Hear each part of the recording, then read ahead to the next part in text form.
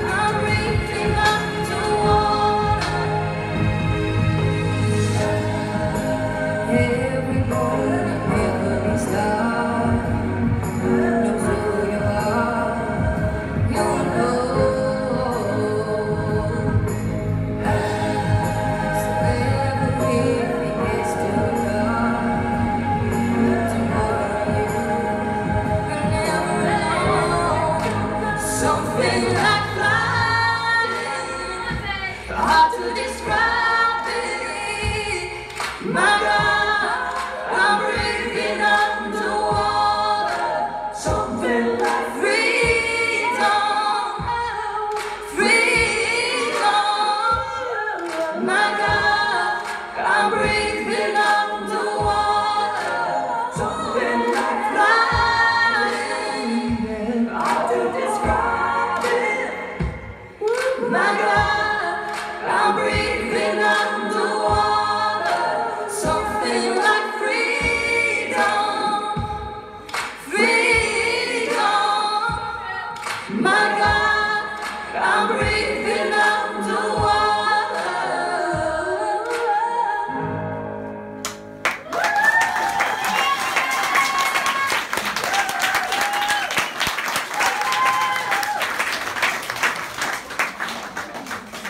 Wow, wow, wow.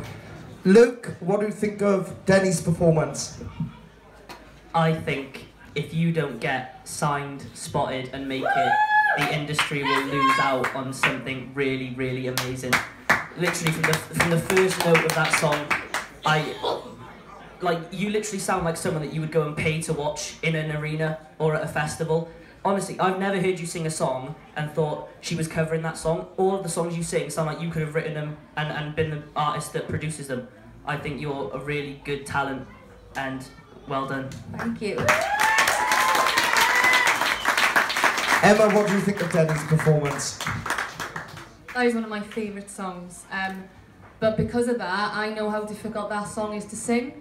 So for you to even take it on was a massive challenge. I love how gentle you started that because that made that song so original to you because it was completely different to the way the original artist sang it.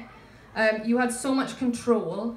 Um, I feel like I have to mention your age because believe it or not, I had no idea how young you were, which makes me think you're even more amazing than I thought you were before. and I, I wrote this down in your first performance and I, I'll reiterate it again. I would pay to come and watch you sing because I really enjoy every performance that you put towards the judges every single Thank week. you. Well done.